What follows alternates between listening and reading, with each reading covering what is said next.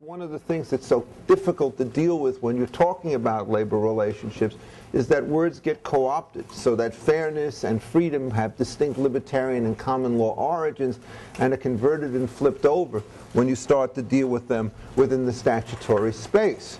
So if you're trying to talk about fairness, the traditional definitions of unfair competition always stress the kinds of means that would be used in these sorts of settings. And unfair competition and unfair practices had to do with sharp practices, with fraud, with deception, with the use of coercion in order to muscle rivals out of a marketplace. Uh, the key feature about the standard common law definition of fairness was that it had no built-in end state or pattern principle associated with it, so that if you had the appropriate processes and could enforce contracts and keep transactions costs relatively low, whatever distribution took place in the workplace was fine because the processes that generated it were fine as well. When you get to both the Ledbetter situation and particularly with respect to the Paycheck Fairness Act, you have yourself a violently different conception of what counts as fairness. Now the key elements are not the processes that are used in order to generate the outcomes for which there are serious restraints, but instead what we find is that the ultimate test is whether or not the outcomes comport to some prior distributional standard about the way in which things ought to be done. And there is in the United States today a very powerful sense of the way in which these things ought to take place, which is to assume that if you took a randomized population, in this case it's sex discrimination or gender discrimination that's at stake, is that you should see an outcome which essentially is indifferent to the sex of the various individuals occupying various kinds of places. So that the definition of fairness is that if you looked at the curves, you would see median incomes, occupational distributions, and so forth, which pretty much matched one another across sexual lines. And that, of course, is something which has not been true and never will be true, given the fact that there are certain different forces inside and outside the marketplaces that lead to some degree of segmentation. And when one turns to freedom with respect to the um, Employee Free Choice Act, again you see a real inversion about the way in which particular concepts were done. The standard common law definition of associational freedom applies to all persons at all times and says, in effect, that there is a basic rule in which, absent monopoly situation, you get to pick the persons with whom you wish to associate and those with whom you do not. And it is not an employee right to have freedom. It's a right of all individuals in the employment relationship, whether they be employees on the one hand or employers on the other, so that the appropriate rule would be that no employer could coerce workers to join him if they chose not to do so. And by the same token, no particular worker could demand that an employer negotiate with him if it turns out that the employer did not wish to do so. This particular conception of freedom was, in fact, effectively rebutted in the United States with the passage of the National Labor Relations Act, which substituted a system of what you might want to call sort of democratic politics within the workplace as a substitute for the notion of pure associational freedom, and then imposed a duty, a bargain in good faith upon both the union and the management once it turned out that the union had a majority of workers in a given place. And so here what happens is the notion of freedom becomes much more selective, and the basic argument is that workers are now entitled to unionize or not at their free will and pleasure, and that the employers have no freedom to reject their particular overtures if they are done collectively, but must in fact have a duty to bargain with them. The question that one has to ask in looking about all these situations is when you're talking about conceptions of freedom on the one hand or unfairness of the other, which of them is going to generate the higher level of social welfare, um, which is going to be of great concern to us all. I might add that this question of social welfare is particularly pressing today in virtue of the fact that virtually all of the news that we see coming out of the press indicates that major firms, and I don't only mean law firms, but large corporations in virtually every market sector are downsizing in a very determined and very precipitous fashion so that we are already in a employment recession which is deeper than that in the last recession of 2000 probably is going to be by the time we have run the course as deep as any recession that we have had since the 1930s because there doesn't seem to be anything on the other side which is propping things up. My own view is under these circumstances where you see that the situation has gone very bad with respect to labor, the key feature that you want to do is not to give certain protected status to individuals once they've gotten a job, but to try to create an environment in which as many jobs will be created as possible. And for that, I have no question that the traditional common law framework, which is designed to deal with these issues, will outperform the elaborate regulatory frameworks that are A, in place, and B, which are going to be made more draconian and more difficult as we start to go down this path in the new Obama administration. And so let me again sort of repeat what I think to be the basic logic of a common law system of labor relations. And the point here is that when you look to sources of regulation in a common law framework, what you're trying to do is to counteract the dangers of force, the dangers of fraud, and the dangers of monopoly. In looking at labor relationships, one of the happy features about employment context is that none of these difficulties are particularly acute in working the system so that even though there may be ex post adjustments that you would want in an individual case, there's a relatively weak ground for ex ante controls of the situations at hand. And so, for example, if you are trying to figure out whether or not it's possible to commit fraud within a workplace on a systematic basis, generally speaking, workers have such complete information about the nature of the jobs, whether they've been paid, prospects for promotion, and so forth, that it is possible to do this, but not to do it on a very systematic basis. So that the key in these situations is to therefore reduce the transactions costs needed to form jobs, and the way in which workers are going to be protected is, in a sense, to have the option to quit because there'll be other options to be hired by some other firm which will offer them a better deal in wages, packages, and so forth. So that you simply rely on a single method, that of choice, in order to try to keep the wage levels high. And there's no question that if you start to look at the way in which wages correlate with productivity, it's almost a lockstep correlation. The deviations are so small in those two graphs that there's nothing else there.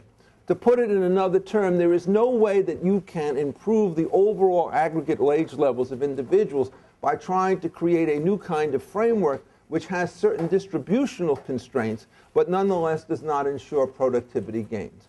Or to put it in another passageway, the way in which I conceive of all regulations in the workplace, which go beyond the problems of force and fraud and monopoly, as implicit taxes on the gains from trade that take place from the two sides of the arrangement. And what happens is, if the size of the tax exceeds essentially the potential gain from the arrangement, it will shut down no matter what anybody decrees. So if you want to look, for example, at labor relations writ large and to explain what it is that accounts for the decline in unionization, the key feature in this is not so much the way in which new workers join or do not join unions.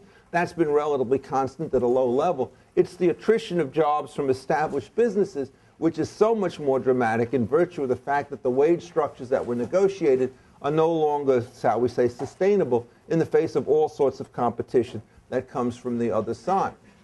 So the method that I would want to urge in order to improve the current situation with respect to employment has an exact opposite, a polarity difference between that and the current administration. What I would try to do is to look at every system of regulation which is available which does not meet the requirements of controlling force, fraud, or monopoly and remove them systematically from the list in an effort to try and create a greater velocity of employment moving forward. Will this make a difference, you might ask? And the answer is on the empirical side that clearly it will. Because even though it's very difficult to do this if you only are looking at federal regulations, because those will have nationwide impact, it's very clear when you start looking at state kinds of variations in labor markets that there are conspicuous differences. People tend to flee high tax jurisdictions and move to low tax jurisdictions.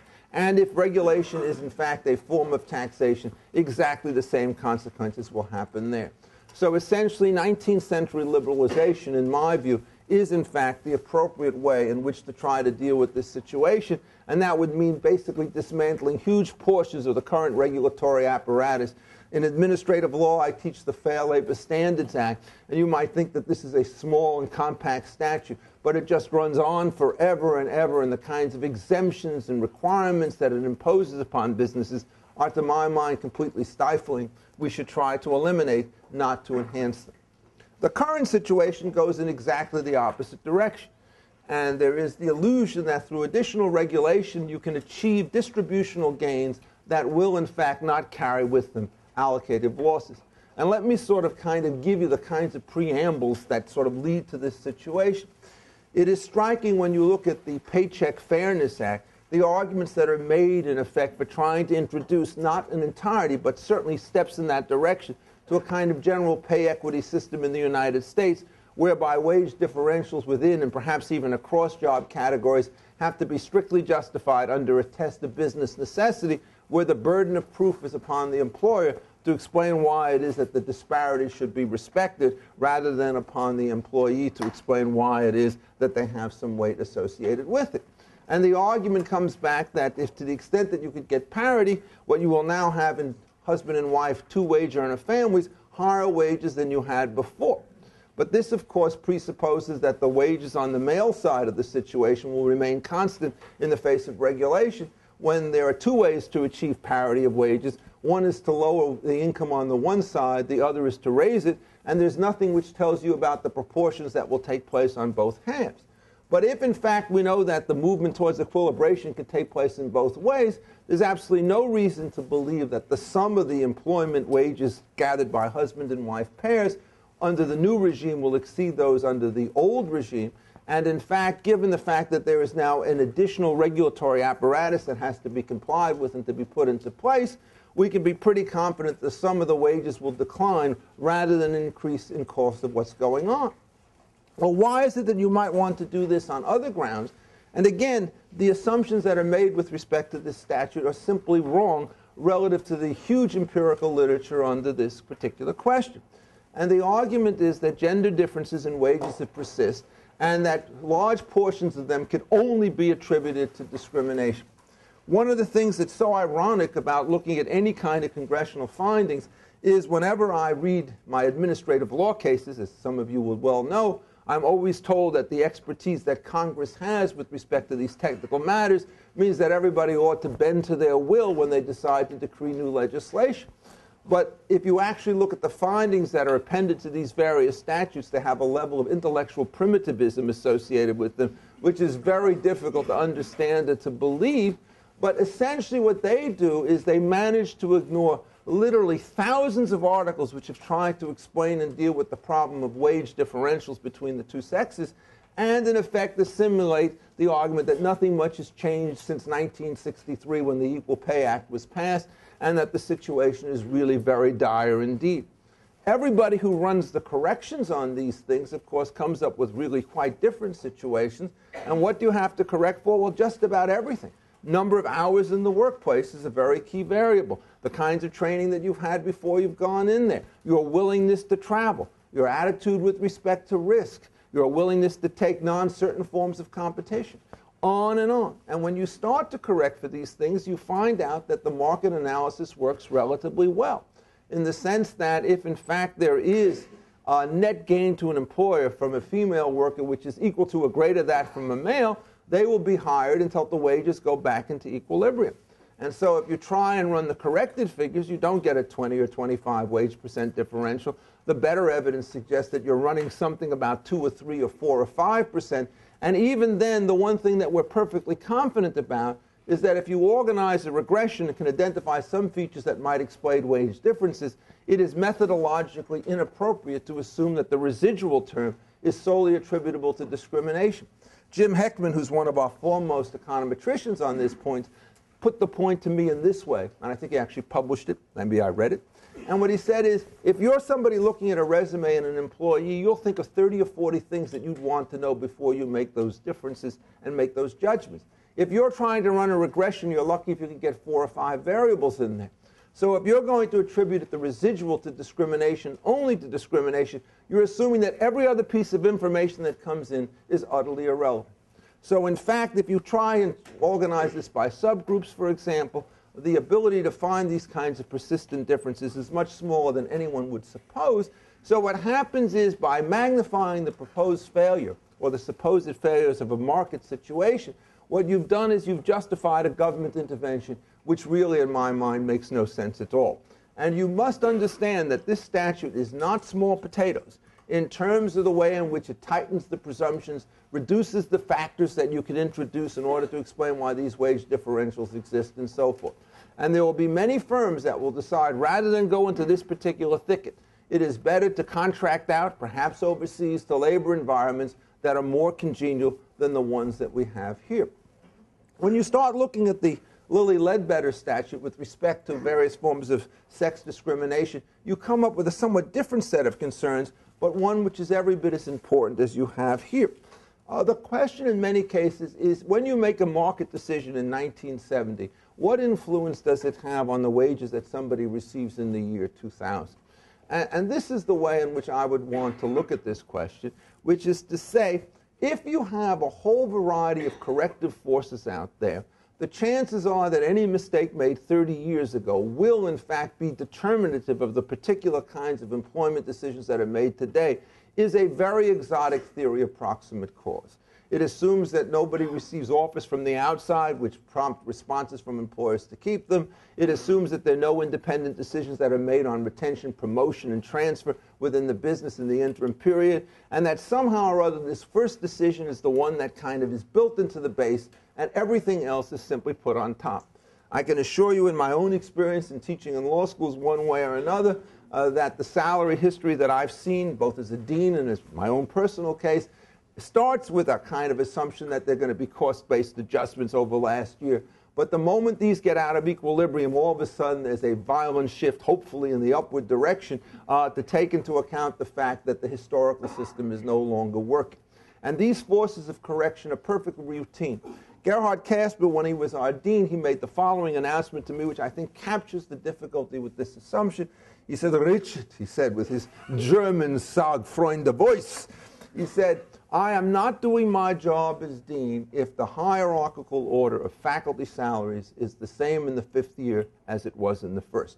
Meaning, in effect, if you just boosted people by percentage. That means I'm not being aware of the nature of the differential contributions that different faculty members have made. And so my job as a dean is to shake these things up. And some people may get 3% wages increases, but there are others who are going to get salary increases, which will be 10 or 20 in a given year for all sorts of good reasons. This is essentially the reality of labor markets. They respond to recent stimuli, and to the extent that you now try and prove one of these Ledbetter claims, this is what you will find. That it's easy to make allegations that I was hired many years ago and my wages have lagged, and that it all has to do with sex discrimination. But when you decide the statute of limitations question, you decide it on a demur. You don't look at the truth of the facts. You just simply assume that they're true. The moment you decide that the statute of limitations defense is not going to be available, what is going to happen? Then it opens the record to an exhaustive examination of every personnel decision that took place within the interim. And how are you going to be able to decide which of these are true and which of them are false? Which way you're going to run the burdens of proof? How you're going to assimilate the evidence is going to be a kind of a nightmarish deliberation.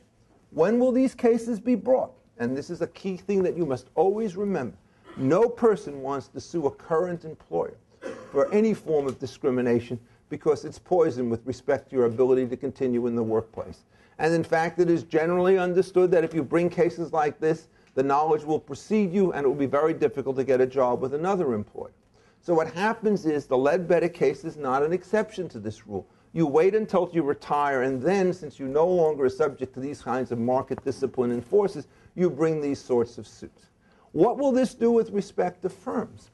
Well, one of the things it will do is since everybody has people coming in and out of jobs at a very high rate, you'll have to start to re examine your entire salary portfolios for everybody with an idea of how it is that you immunize yourself from some kind of prospective liability, only to be told that if you do that, that's proof positive that you engaged in some kind of bad practices earlier on in the game, and so that you'll be in trouble. This means, in effect, that searching the personnel records is going to routinely take place. And what was characteristic about this particular statute was there was no willingness to compromise on what I think to be a most dubious project to begin with by saying, look, you could go back 10 years in the record, but you can't go back 20 years in the record because the reliability and significance of the ancient materials is simply too well. This is a characteristic which is uh, all too common in the modern regulatory state. You identify a small imperfection, you think you have a benefit that comes from having greater scrutiny, and then what you do is you say, I'm just going to keep pushing that, and to the point where the benefits become very marginal, even by your own accounting, and the costs become very high, you find no way to cut back and try to split the difference. So it is characteristic of this particular statute that any employment decision which is said to trigger discrimination, in effect, is subject to another action each period. So that if you build it into the base in 1970 and you pay wages in 71 through 2000, every single year you've engaged in a fresh act of discrimination, or at least presumptively so for the purposes of the statute of limitations. The consequences of this will be essentially to try to figure out how you trim your labor forces in order to minimize the exposure to the future liability. The particular pattern doesn't matter whether it's this or the Fairness Act. In both cases, the unambiguous prediction is that efforts to try and improve the market by these devices will not work. Now, these are the more progressive and enlightened statutes. By far, the most dangerous statute that you have to deal with under these circumstances is the Employee Free Choice Act. I should tell you, I've spent a lot of time working on that situation because I've just written a volume on this for a whole variety of employer groups who are frankly petrified about the passage of this particular statute and the way they think it will infect their particular business. And I think that they are actually, in some sense, underestimate the nature of the dangers that are associated with the statutes in question. Let me see if I can put the thing into perspective for you before I talk about some of the particulars of the Act. Uh, the first thing that we have to do is to understand the condition of labor unions in the modern marketplace. Uh, the watershed events in this particular area all took place in the 1930s, and the key statute amongst them was the National Labor Relations Act of 1935, or the Wagner Act, which essentially guaranteed the right to collective bargaining. And the key feature with respect to this system, as it was originally conceived, was A, that there was no way in which the state would actually force an employer to yield to particular terms in their negotiation with the union, but B, there was no way that they could resist bargaining once a majority of workers in a given bargaining unit had assented to the operation of a union. Once you do this, of course, how do you choose a union? The answer is under the NLRB situation, the basic method is a secret ballot after a campaign. Nobody alleges that the ballots themselves have been improperly counted or operated. In fact, all the reports suggest that the National Labor Relations Board has done an exceedingly good job in the way in which they've execute, actually executed the elections. These are smaller elections than you're talking about in political bodies, and you really can watch and guard them very, very well. The battle in this area has all been over the campaign tactics used on both sides in order to achieve victory under these circumstances. The labor argument is that management speech designed to discourage workers has in fact put a thrall on the way in which unions can operate. And the employer response is the tough guy tactics that unions use in efforts to get publicity campaigns against employers have exactly the same effect on the opposite side. The only reason you get these stream tactics on both sides, of course, is frankly they don't like each other very much at the stage of an organization campaign. I have never met an employer who thinks that on average its position will be better off with the imposition of a union than without it. If they did think so, they could organize one voluntarily in order to achieve the gains without the pain. If they tried to do so, however, under current law, they would be engaged in forming an company union, which is an unfair labor practice under Section um, 8A2 of the Act. So you have a lot of tensions going on in this situation, real pressures on both sides.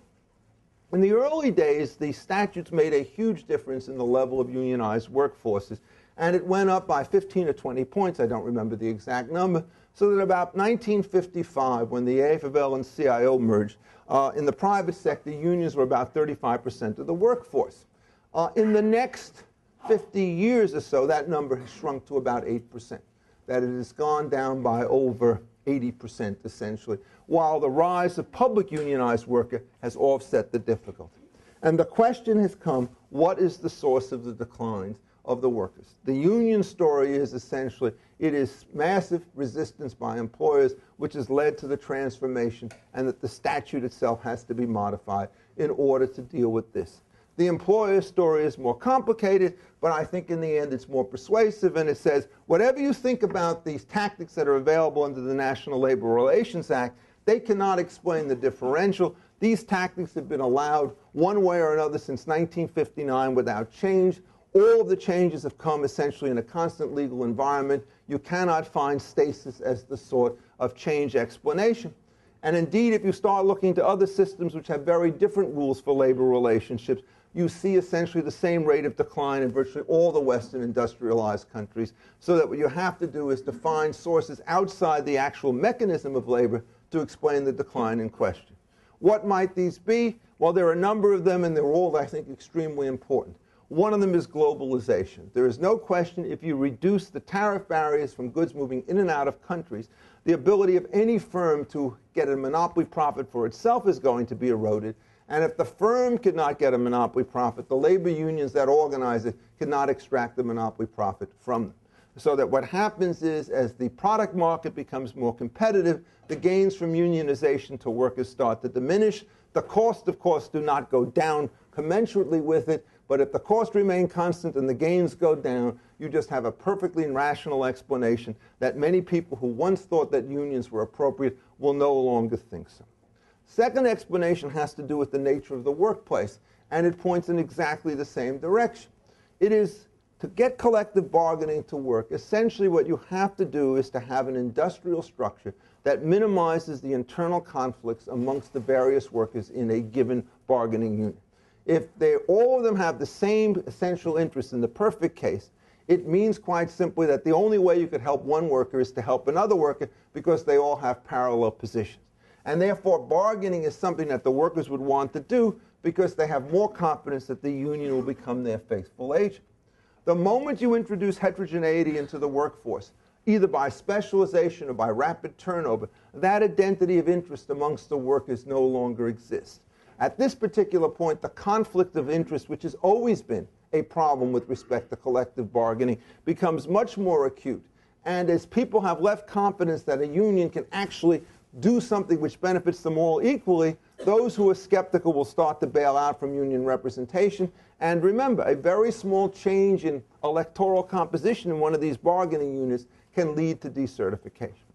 And the third explanation is more ominous, but it's probably the most powerful at all, is when you look at these first two things and you want to account for the decline in unionization, essentially it turns out that they cannot remain competitive.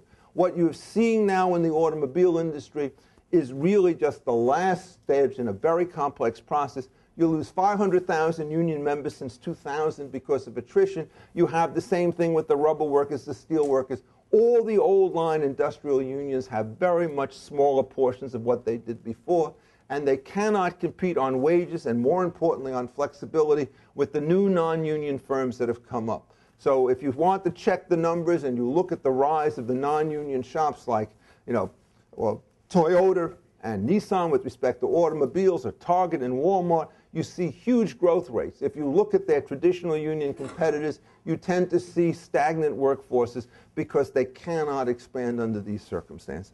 So the question then is, what do we do about this situation? And here, the analysis that you have with respect to the disease will lead you very strong with respect to the cure. My own view about the situation, and I've made this clear, I guess, since 1983, is that I think the common law regime is perfectly appropriate. And one of the ironies of all of this is I did so at the Yale Law School in celebration of the 50th anniversary of the New Deal. I was the lone conservative allowed to speak at this particular event. And that one of the people in the audience is a woman named Cynthia Estlund, my colleague at NYU when I'm there as opposed to here, who is one of the leaders of the Obama transition team. So I guess my positions have certainly been well known to her and to a lot of other people for a very long period of time. But in the current situation, you have to treat the National Labor Relations Act as a bedrock institution. You cannot treat it as a contestable item subject to be revision. And the only question is whether you tighten the noose rather than loosen it.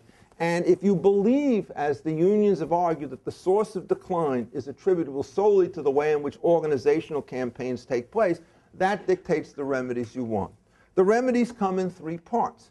One of them I don't like, but I think is, on the grand scheme of things, relatively, relatively innocuous. The other two I think are much more dangerous.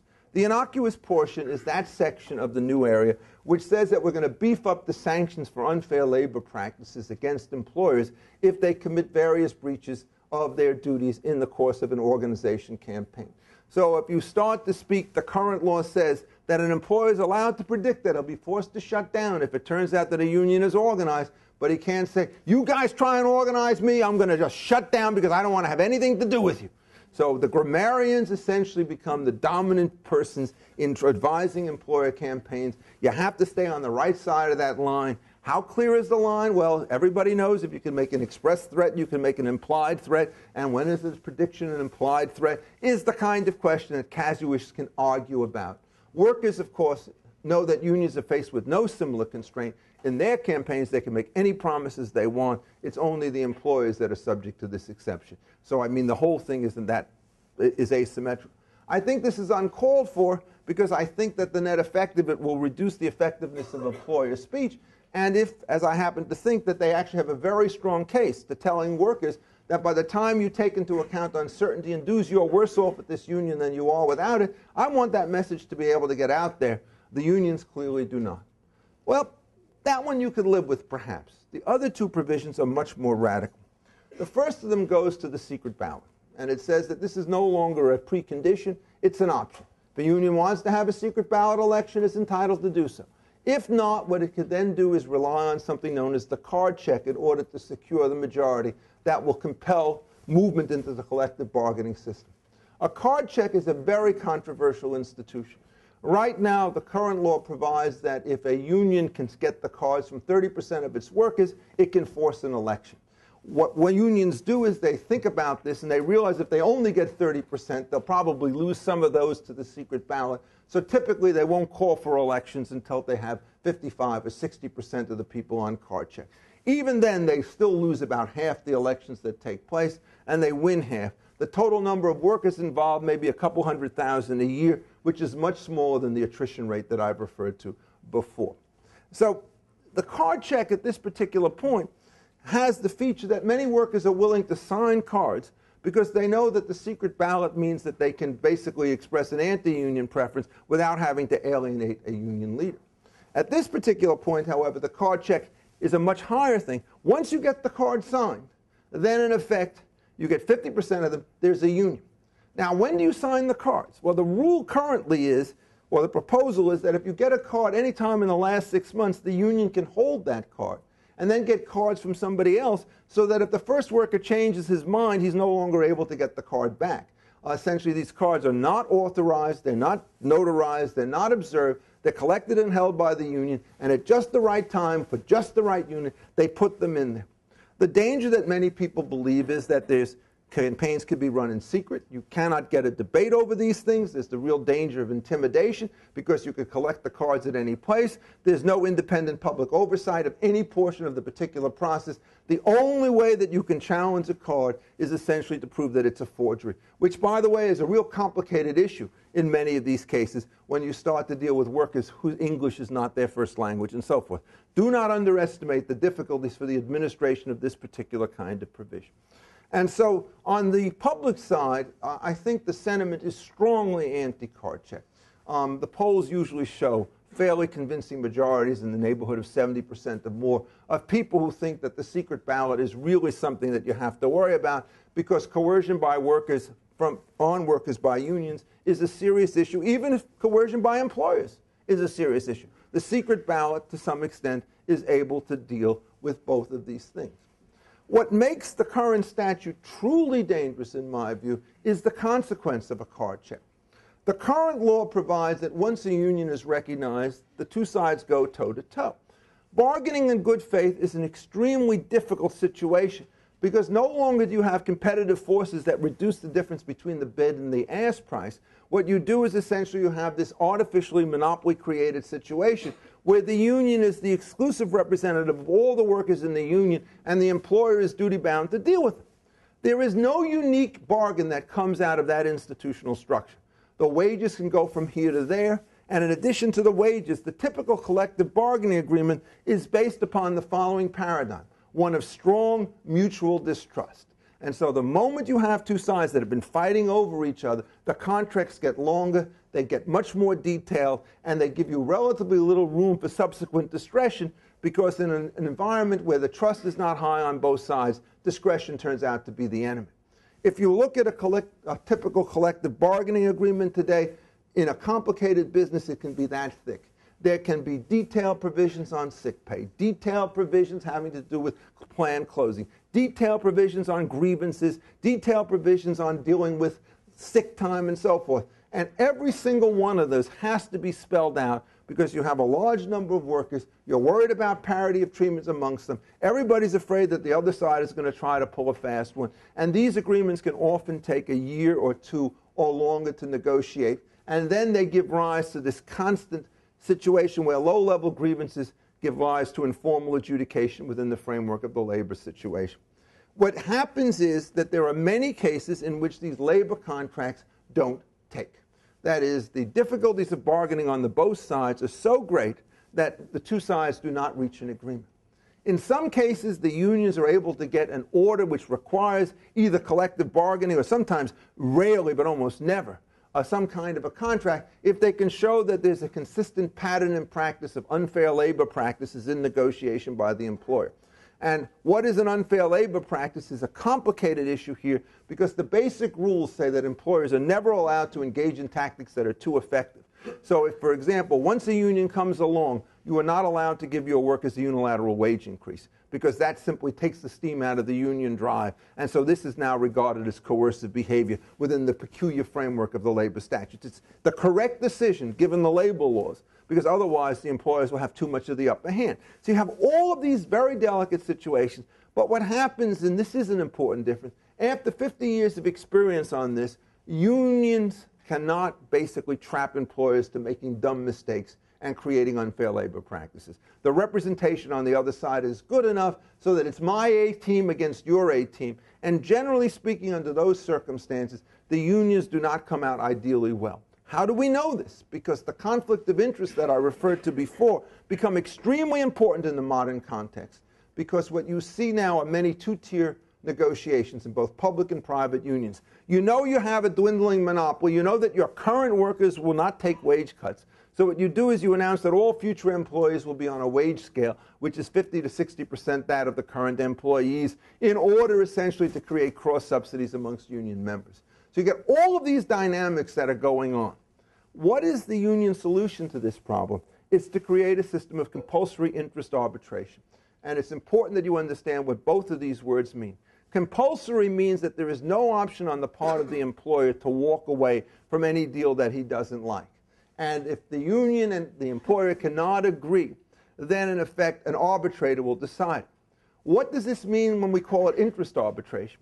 Well, in the labor business, there are two forms of arbitration. One is called grievance arbitration, and the other is called interest. A grievance arbitration, which everybody believes in in the union framework, is if there is a contract and there's a worker who claims that he's been aggrieved by breach of that contract by the employer, you can have an arbitral discussion to figure out how it is that you resolve that particular complaint. The worker could win, the worker could lose, Unfortunately, the worker cannot decide to unilaterally press this grievance. The union has control over that under a decision called Vaca and Sipes. And this was on my final exam at law school in 1967. I didn't do very well because I had the result come out the opposite way. And my first publication was trying to explain why it was that Vaca and Sipes was a wrong kind of decision. I mean, so my interest in labor law goes back a very long time, to put it mildly. Um, I could not understand when I heard Harry Wellington teach this course how any person of such intelligence could believe in a system that was so complicated and ornate. And my mind on that issue has not changed, although the arguments about it have changed in the subsequent 40 odd years since I first took this class. When I saw Harry at dinner another night, I sort of shook my finger at him for the way in which he taught labor law. Now, this he's now 80 odd years old, but I was still after him. I mean, you know, no rest for the weary, right? But anyhow, so you force the negotiation. And how does this work? Well, the labor statute provides, and this is really astonishing, it says that you have 10 days to organize a collective bargaining team as an employer. So think of yourself as a four, small business. You've got 18 employees, 10 of them assigned cards, and now, 10 days after you do it, you have to hire a lawyer, figure out what all the negotiation rules are. And then you have 90 days to negotiate without, 30 days with a mediator, and then at the 130th day, it goes to an arbitrator panel to be appointed by well, we don't know who. The statute itself says it shall be a panel, so you know there's at least one, more than one. And it's under rules and regulations to be determined after the passage of the statute. But the rules won't come out when the arbitrations begin because the statute has an immediate effective date. So you're going to basically go to an arbitral panel, And they're going to have to replicate out of whole cloth the same complicated bargaining agreements that are currently reached or not reached in the collective situation. You have a firm, and a large firm, it may have 100 unions in different branches coming up simultaneously, and we don't even know whether the arbitrators have to coordinate or not coordinate their demands in question. My view about it is that this is a straight form of expropriation, and even under modern law would be regarded as unconstitutional. But I've been wrong on these kinds of issues before, and who knows? Nobody can tell you for certain about how it is that the constitutional issues will play out. But what you can say, in effect, is that the one set of provisions that you need to have in order to make these things go is not in the bill. That's the bankruptcy stuff. You really have to know how that's going to play out because this statute is immensely expensive and highly coercive. The first contract lasts for only two years, after which we could expect all hell to break loose again. So that's the current program. I cannot understand how it is that this will actually help matters. It will certainly result in some workers getting a short term boon. It will result in a systematic contraction in the rest of the economy. And it all rests upon the assumption of the original 1935 Labor Act, which was, in effect, if in fact we get monopoly unions and combine them with government monopoly cartels, the two monopolists can find a way to raise their levels, and so you'll get a social improvement out of a private game. And essentially, when you're against these statutes, you really believe that competitive labor markets outperform government monopolistic markets and anyone I think who's looked closely at the structure over the last 70 years will come to that conclusion. I will, however, stop at this point because I think it's appropriate for any of you, all of you, to disagree with this, and I think it's probably time that I take questions. Thank you for your patience.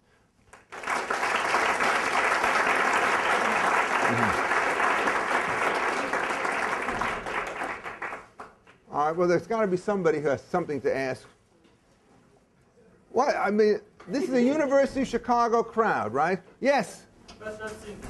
Given that you said that the pressures of globalization have started to decrease the amount of unionized workers, why should we care whether this uh, new law is passed? Unions are disappearing.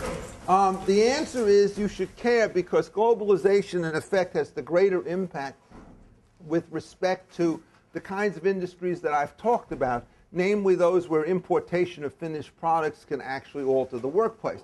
The key target of this is essentially told by who the backer is. It's the SEIU is the strongest backer of this, and essentially you just have to understand that you know they basically have pushed Obama very hard on this issue. Service workers in localized establishments do not suffer the same level of international competition as the first order. So the key point is if you can organize your hotels, your, your restaurants, your retailers, and so forth, that will change the way in which the particular operations go. All right, the second question is that is a very complicated bargaining game whenever you introduce unions. One of the things that's so common, if you start looking back at the literature, for example, about the UAW, is they will always give you the following speech We can't make money unless GM makes money. So, therefore, we have no interest in driving it into the ground. And you know what? That's absolutely right. But there's a conflict of interest there on the question of who gets what. Every time a union can negotiate an additional dollar to its members, it gets the full dollars.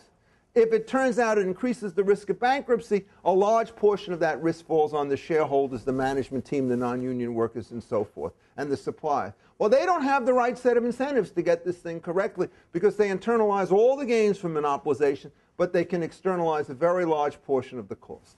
This means that systematically they're going to go a bit more aggressively than the ideal party would do if he had the full cost and the full benefit structure. And you know what happens is they all miscalculated.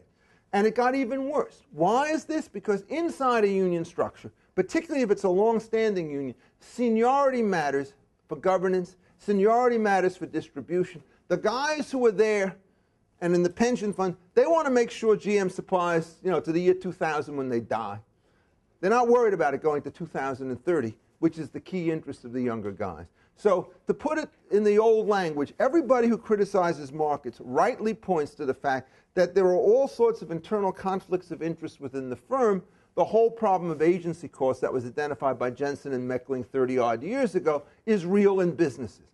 But of course, shareholder discipline will help keep you in that line, take over bids, exchange of prices, whatever it is.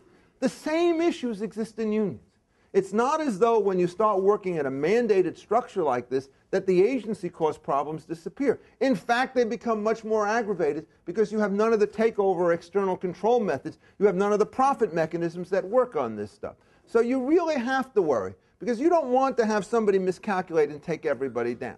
Does this mean that it's going to work all the cases? No. I do think that there'll be some situations under the EFCA where they will unionize and you'll have good union relationships. There is no theorem which explains how successful a union is going to be. You have airlines like Southwest, which are strongly unionized, and they've always figured out how to divide the gains without blowing up the ship. You look at Northwest Airlines, they have a strike a year. You look at this law school and this university, we don't seem to have many real union negotiation problems. Go look at the Yale University, right? And it turns out they're constantly faced with major strikes and dislocations. And what you have to do is to understand that in a structure which is competitive, essentially the attitudes of a very few individuals don't matter that much because they get wiped out if they're obdurate and some other people take over. But in a monopoly type structure, the people who are your leaders determine the entire shape of the organization. And so if you can in fact have uh, just the simplest paradigm, tough management, tough union, weak management, weak union, and run the four pairs together, you'll see that, well, you get weak, weak, it's wonderful. You get strong, tough, God knows which way it's going to work. You get tough, tough, it's going to blow up. Right? So, I mean, that's the problem that you get.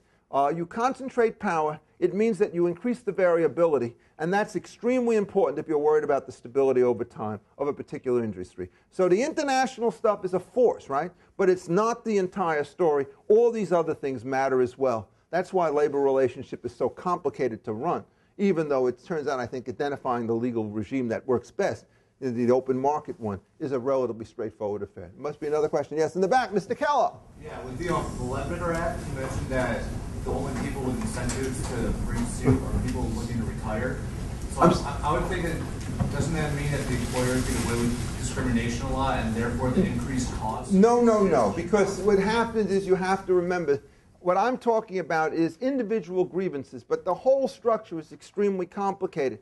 Right now, any short term public decision that you make, like suppose you were to come out and say, I'm paying my women workers 110% of my men workers on wages and so forth, uh, that's an instant public violation. You have the direct enforcement by the EEOC. It certainly happens that you have 180 days, and in some of these cases, if you're talking about a discriminatory dismissal where the boss comes up to you and says, I just don't want women working in my retail outfit, you don't need the statute of limitations. What you'd have to ask is whether or not you think the current structure has demonstrated any systematic increase in the level of discrimination relative to previous times. And, you know, I've been around this labor market long enough, and I have to tell you, uh, it's a completely different game. And let me mention one feature which I think is the most important. When I started teaching, essentially in 1968, we had a male faculty. We actually had a woman dean, but she was an interim, right? Um, and then we were trying to figure out what to do, and the whole question is women were starting to come into the profession as students.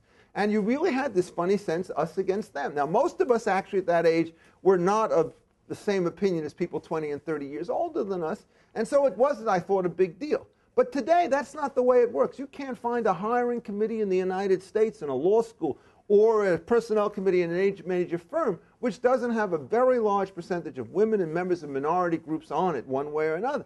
You change the composition of the workforce, that is by far the most powerful protection that's going on. I can still remember going to a European office, I think it was in London, of Goldman Sachs, and I meet one of the guys there and I look at all the names on the doors and I can't figure out the nationality of the people or the sex from the first names. I said to him, this is a real place in which you've got to have people from everywhere. And this is what I was told. that unless you're comfortable with working everybody, you have no future at Goldman Sachs. Um, because that's the only way we can hire. I can still remember one of the former trustees of the University of Chicago, um, who was a head of a major corporation, and he pulled me aside to talk about labor relationships and treating me like the naive that I was. And he says, I'm not interested in firm suicide. I look at the job market and I see that only 35% of the pool are white males. I cannot run a multinational corporation by ignoring two thirds of the workforce. And I mean, those forces really matter under these circumstances. So to think that this statute, which has got lots of enforcement mechanisms in place, is the key feature is wrong. What really matters in these things are the voluntary actions taken in firms. And let me give you the other point. you know, there's always the question of do you or do you not believe in affirmative action? And, you know, my attitude about it is, again, atypical, which is I actually think it's a private decision for individual firms to make. And what happens is if they want to make it in favor of affirmative action, that's fine. If they want to go the other way, it's fine by me. But if you actually put it to that situation, there are very few firms that will not engage in some programs of that sort. But the big difference by doing it privately as opposed to publicly is the one I hinted at before. They know when to quit. They can figure out when it's going to work, when it's not going to work. They can make corrections and adjustments. If you do it through government properties, projects, every time you want to make a change, you've got to get an entire board to go along, and it's going to be much more ideological and much less pragmatic in the way in which it operates. So if you know the full type of situations, I don't think you would want to say that you have to have this statute. You also have to understand that it's a powerful threat um, in many cases where there is no discrimination, because one of the things that you know is all the litigation advances go to the workers because all the paperwork is in the hands of the employer. And that asymmetry in discovery is a huge advantage with respect to the settlement of these cases. Okay, other questions, Mr. Heron? Um, how do you think the passage of this legislation will affect state laws on unions, particularly the cleavage between pro-union and pro-right-to-work states? Oh, oh that, that's a very interesting question. Um, currently, um, may, many of you may or may not know, there are things in place known as the right-to-work laws. And these essentially say that uh, if you're in a right-to-work state, you may have union representation, but you can't be required to work as a member of the union. In some cases, can't be required to pay dues. They, there are all sorts of variations. Those states, a crude empirical study would suggest, have done much better in job creation than the strong pro-union states. If you want to look at the list of stagnant states in total employment, not only union employment, start with Illinois, New York, Michigan, Ohio, Pennsylvania, and so forth. And you have a very good list of states which had high union concentration. So the migration has been going down. The prediction you would make is that this option would become more valuable if the unions are less welcome, so that the exodus from the northern states to the sort of western and southern states would start to increase. This, of course, will create another political dynamic, which is I think that there will be an effort to repeal that provision of the Taft Hartley bill, which allows state to opt out of the national system. At which point you would do it the other way around. Remember, there's a real problem that you have here about this parity stuff um, with trade and everything else. You could do one of two things. You could create parity by creating a set of institutions that has Ohio look like Texas in terms of growth, or you can create parity by having Texas look like Ohio.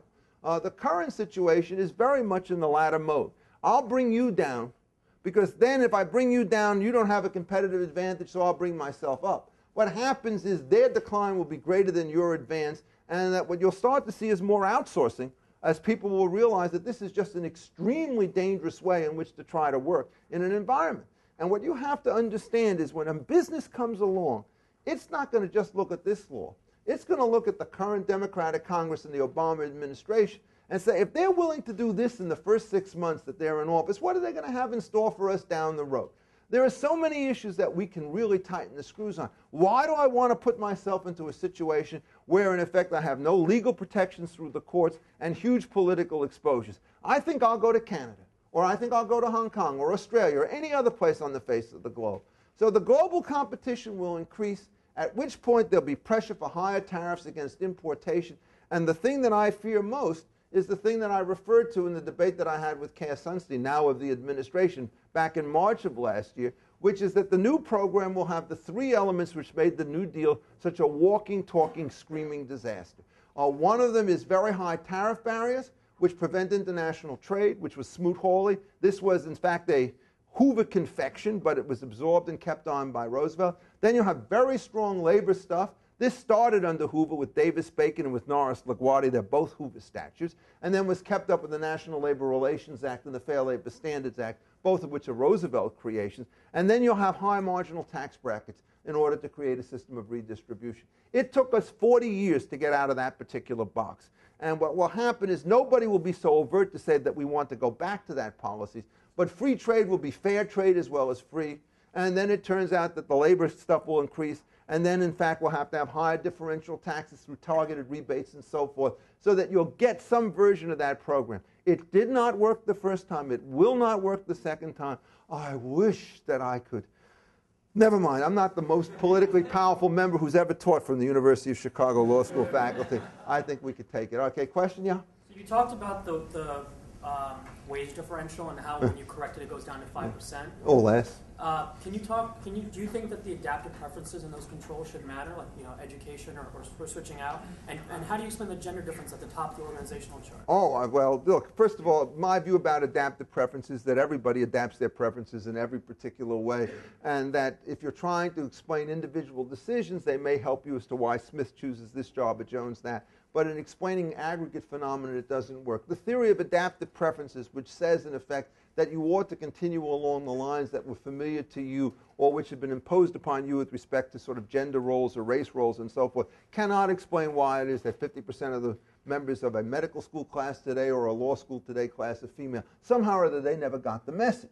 And in fact, that's true everywhere. The thing that is most conspicuous about the labor type situation is, in fact, the huge amounts of statistical upheaval that has taken place over these periods of time in both sectoral employment and, in fact, in the kinds of mixes that take place. So I don't see any evidence whatsoever about adaptive preferences as creating a constraint on movement. I, I don't even think that that case is close.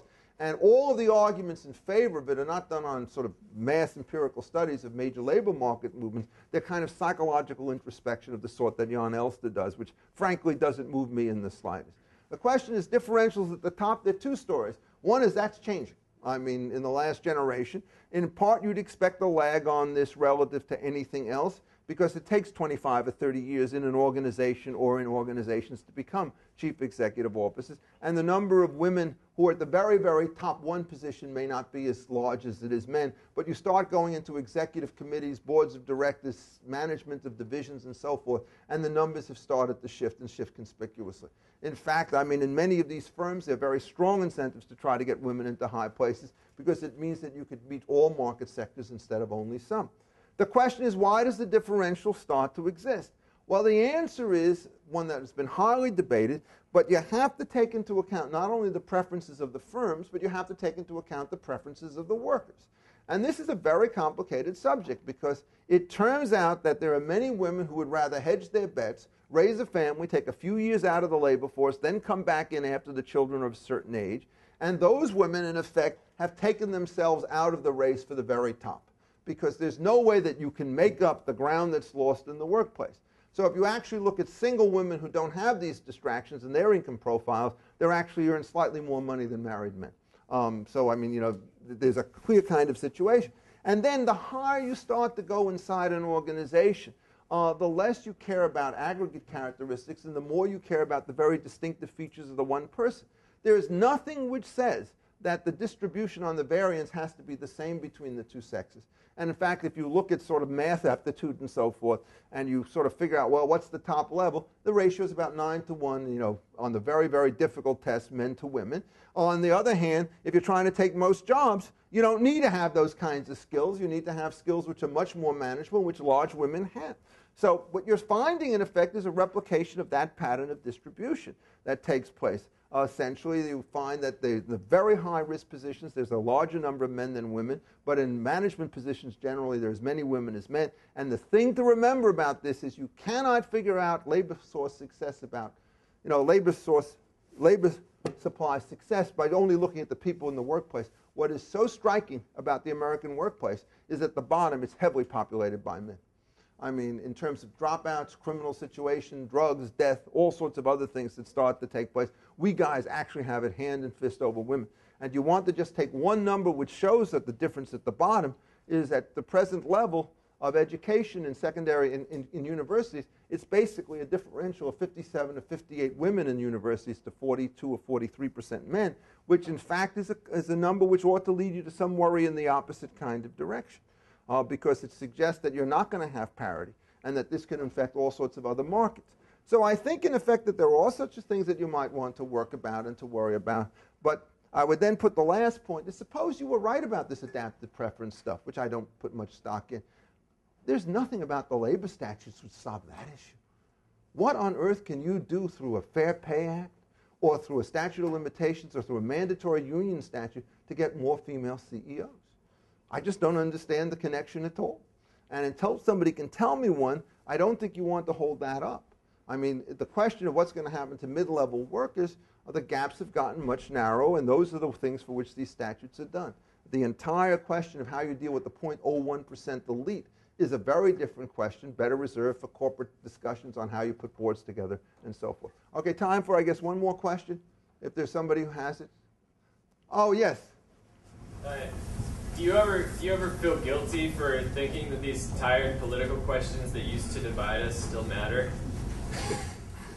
Boy, oh boy, feel guilty. Um, let me put it to you the other way around. Um, these vital political questions that divide us will determine the success or failure of this nation going forward. And my long term fear is that we have now figured out ways in which to expand the scope of regulation as opposed to private activity in every single sector that you would care to manage. Whether you're talking about the FDA or the labor statutes or the Endangered Species Act or the air pollution statutes, on and on. And in the end, what I fear is that the following massive political disequilibrium will take place. Everybody who looks at his own area of regulation says, hey, this makes sense on distributional grounds, and we're a plenty productive society, so don't worry about it. Well, what happens is you keep lowering that boat in the water. And sooner or later, the gunnels are going to be below the waterline, and that may be where we're heading today. That is, I think, in effect, it's the cumulative and uncoordinated effects of multiple schemes of regulation, each of which is perverse in its own way, which have combined to create what is now a real danger of total stagnation. This situation will, on balance, get worse. Um, and the reason it will get worse is that we have people in Washington in very high places who think that they're the solution instead of thinking they're the problem. If you have a large vector and you're running it in the wrong direction, you're going to come up with very bad results. So far from this being a tired question that doesn't matter, this is a huge train roaring down the wrong track. And until you manage to get this thing off the rails and to slow it down, you're going to be in for worse times. And unfortunately, the biggest problem is that our engineer in chief does not understand the direction in which he is moving. Thank you.